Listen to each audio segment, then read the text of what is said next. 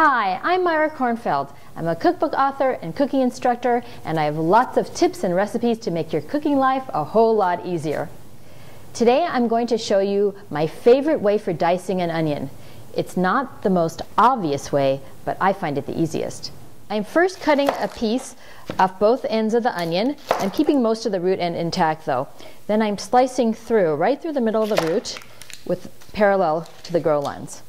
I'm now peeling the onion in one big swoop. Starting by putting the root end away from me, I'm now going to be cutting the onion at an angle. When I get to the top, it will be straight, then I will angle in like the spokes of a wheel.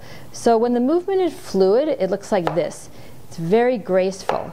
But in essence, what I'm doing is this cut here, angle, angle, straight, and now I'm going to go in on the other side. But I'm not actually digging in on my knife till I get to the point where I land it down. I'm not cutting through on this end, I'm keeping the onion together. So this is what it looks like in a very smooth, fluid way. And you can see when you get good at this, it's very quick and graceful. Now I'm turning the onion to the side, keeping this hand in a claw, and I'm just making cuts here. And you can see how beautiful a dice and how even it is.